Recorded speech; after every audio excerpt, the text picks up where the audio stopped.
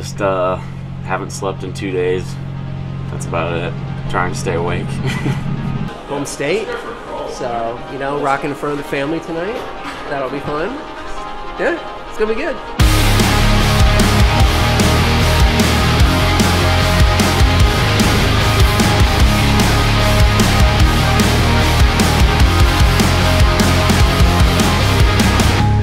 Time has hit you